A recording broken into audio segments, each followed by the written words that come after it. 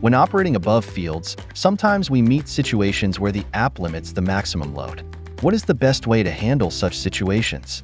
The most common factors limiting the maximum load of a drone are low temperature, low battery, battery health, high altitude, and the distance to the operation point. Low temperature, low battery, and battery health all reduce the battery's output power, thereby decreasing the drone's maximum thrust.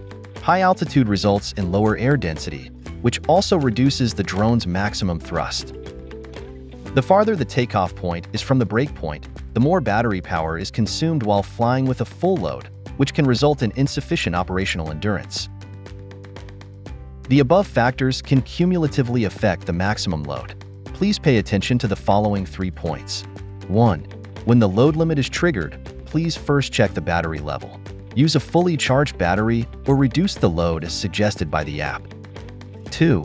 If the conditions of the task fields allow, it is recommended to set up multiple landing points to minimize the distance between the drone and the breakpoints. 3. If there is a need to operate in low temperatures, it is recommended to fully charge the battery in a warm environment beforehand. Quickly raise the battery temperature by hovering with a full load before using the drone.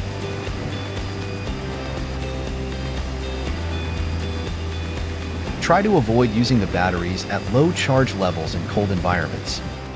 Additionally, it is recommended to develop the habit of powering on the drone and setting up the field before adding the load.